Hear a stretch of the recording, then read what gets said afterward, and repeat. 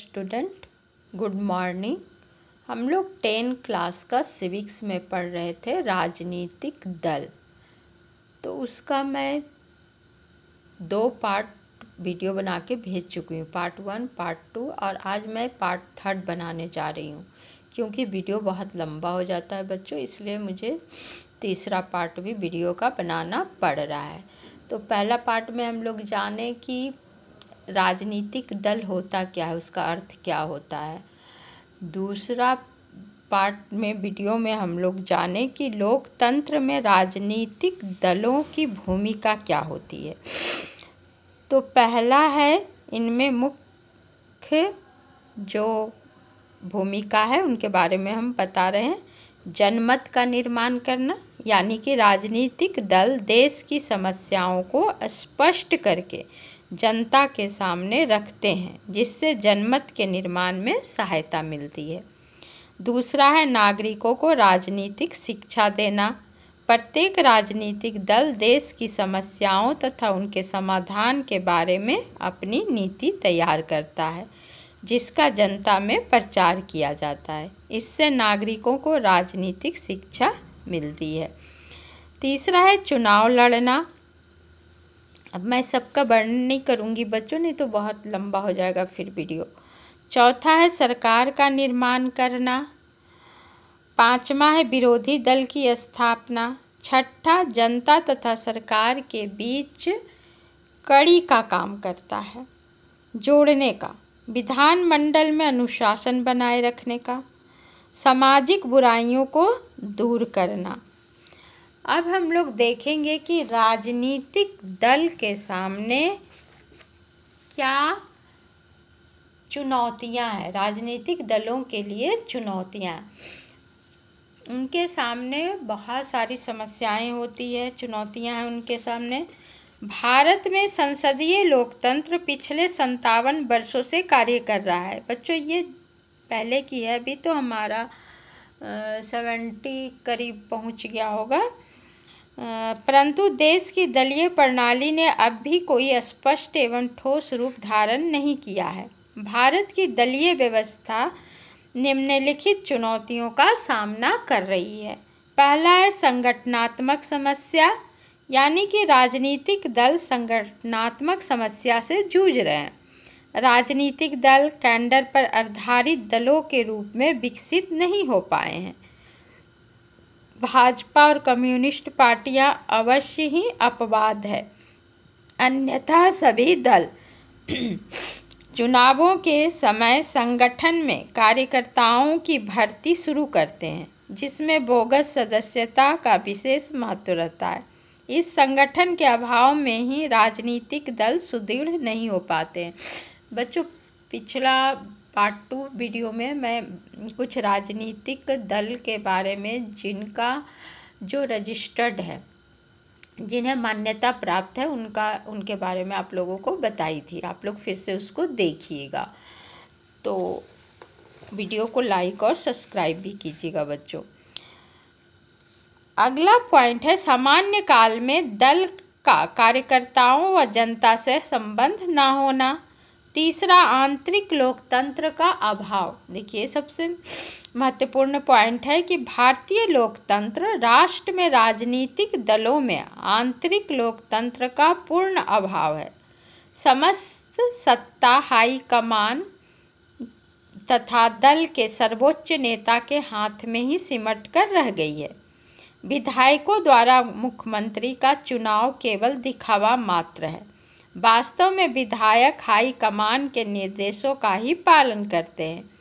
अनुशासनहीनता को परिभाषित करने का एकमात्र अधिकार दल में सर्वोच्च नेता को ही प्राप्त है। किसी दलीय नीति के सिद्धांतों के आधार पर आलोचना करना भी अनुशासनहीनता माना जाता है। जैसे कि अभी अभी कल ही बिहार का चुनाव जो हुआ था, उसका परिणाम आया तो उसमें भारतीय जनता पार्टी को सबसे ज़्यादा सीटें मिली है। तो जब किसी पार्टी को सीट अधिक मिलती है या पार्टी जीतने लगती है तो दो, जो विपक्ष वाले होते हैं, वो उन पर आरोप लगाना शुरू कर देते हैं कि मशीन में ही ईवीएम मशीन में कोई गड़बड़ी है। अगर वो जीत जाएँगे दूसरी अपोजिट पार्टी वाली तो फिर ऐसी कोई बात नहीं होती है। तो सभी पार्टियाँ एक दूसरे पर आरोप लगाना शुरू कर देते हैं। नेतृत्व का संकट। राजनीतिक दलों में नेतृत्व का संकट भी पाया जाता है, जिसके अंतर्गत राजनीतिक दलों के पास स्थापनापन, नेतृत्व और नेतृत्व की दूसरी लाइन का पूर्ण अभाव है। जैसे यहाँ तो कांग्रेस और नेहरू परिवार के बारे में दिया है। भारतीय जनता पार्टी के पास एल के अडवाणी तथा अटल बिहारी वाजपेयी बहुजन समाज पार्टी के पास मायावती और मुलायम सिंह हैं। तो मैं अभी अभी आपको करंट वाला बताती हूँ, जो महाराष्ट्र में चल रहा है।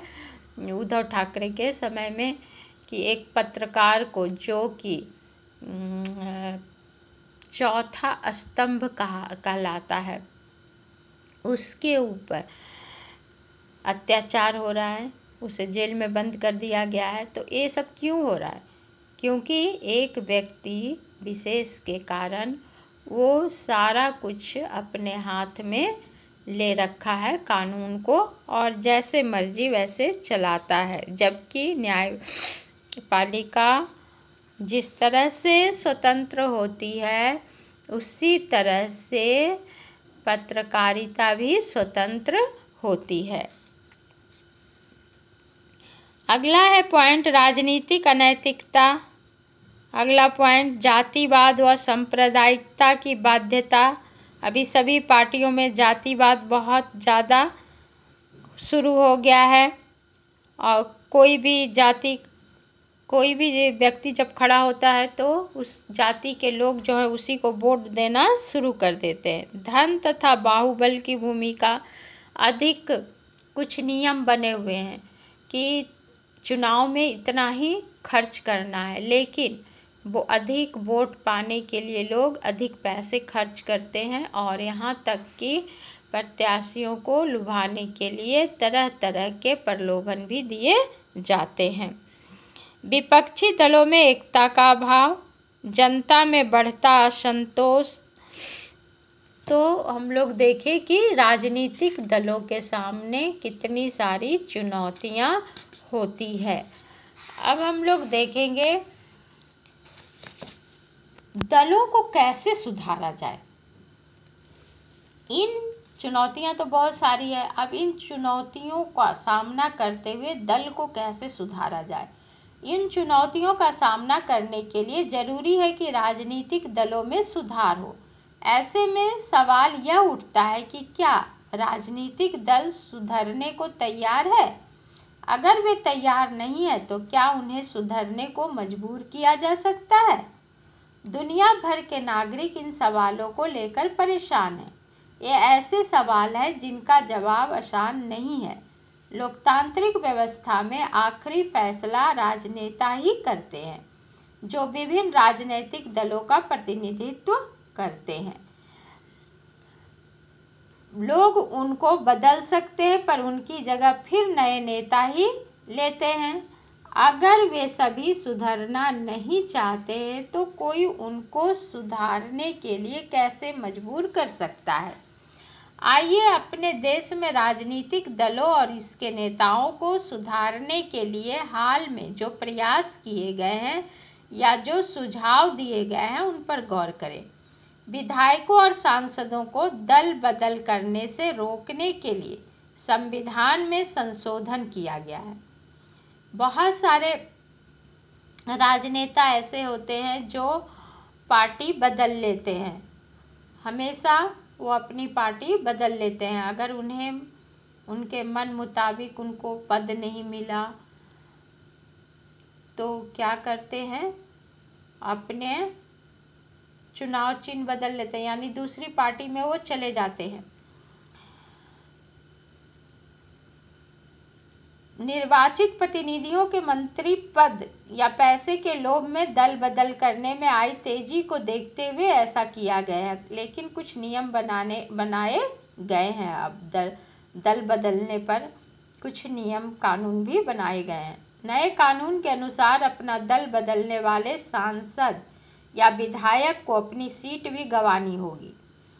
इस नए कानून से दल बदल में कमी आई है। पर इससे पार्टी में विरोध का कोई स्वर उठाना और भी मुश्किल हो गया है।